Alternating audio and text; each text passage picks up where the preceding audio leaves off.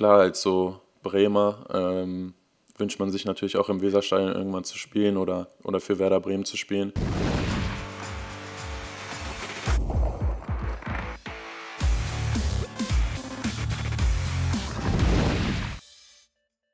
Ja, es ist natürlich schön, wieder hier zu sein. Ich meine, ich kenne den Verein in- und auswendig und äh, von daher, ja, man sieht äh, alte Gesichter wieder, man lernt neue kennen und es ist einfach wieder schön, hier zu sein. Clemens Fritz war immer im Austausch mit mir und ähm, ja, hat sich natürlich um die ausgeliehenen Spieler gekümmert und ähm, ja, zur zweiten Frage, die Gedanken hatte ich eigentlich nicht. Äh, ich habe mich eigentlich komplett auf die Saison fokussiert, auf äh, das, was ich beeinflussen kann. Und äh, dann war es natürlich schön, als Werder dann auf mich zugekommen ist und ähm, dann mit mir auch verlängern wollte.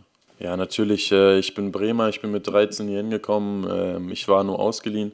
Und ähm, natürlich fiebert man dann mit. Man drückt natürlich dem Verein die Daumen und ähm, ja, dann bis, bis zum letzten Spiel saß ich auch wie jeder andere, glaube ich, vorm Fernsehen und habe gehofft, dass äh, Werder die Klasse hält. Klar, ich habe jetzt viele auf Rechtsverteidiger gespielt und ähm, man ist natürlich immer im engen Austausch mit dem Trainer.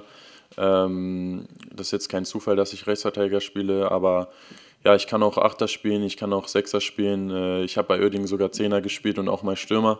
Von daher bin ich da relativ flexibel und ähm, gebe einfach 100 Prozent da, wo der Trainer mich aufstellt.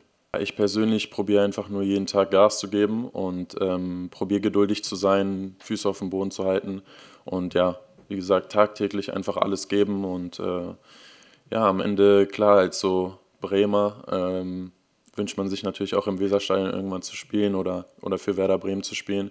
Und sonst natürlich auch im Stadion äh, immer, immer angefeuert äh, und klar, es äh, ist ein riesengroßer Traum, mal, mal für Werder Bremen zu spielen. Und ich wiederhole mich aber, ich gebe jeden Tag dafür alles und fokussiere mich darauf. Und äh, es wäre einfach wunderschön für mich. Jeder, der hier schon mal drin war, der weiß, äh, was man hier für eine Atmosphäre auch aufbauen kann.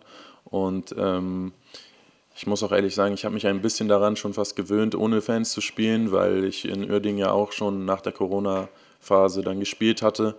Ähm, am Ende des Tages äh, muss man sich einfach nur auf Fußball dann konzentrieren und äh, die andere Sache, die habe ich halt nicht zu beeinflussen. Ähm, es wäre natürlich aber trotzdem schön, äh, mit Fans zu spielen. Und ich sage, dass ich Bremer bin, obwohl ich eigentlich in Göttingen aufgewachsen bin. Klingt vielleicht ein bisschen komisch, aber wenn man mit 13 halt hierher kommt dann, und dann eigentlich fast sein halbes Leben hier verbringt, dann kann man das, glaube ich, schon sagen. Und ähm, ja, ich bin mit 13, wie gesagt, hier ins Internat gekommen und äh, wollte hier unbedingt hin. Ähm, meine Mutter hat mich schweren Herzens gehen lassen. Und ähm, ja, seitdem äh, spiele ich hier, fühle mich wohl, habe hier mein Abitur gemacht und äh, ja, es ist einfach schön hier zu sein und ähm, jetzt hoffe ich, dass einfach sportlich äh, weiter so geht.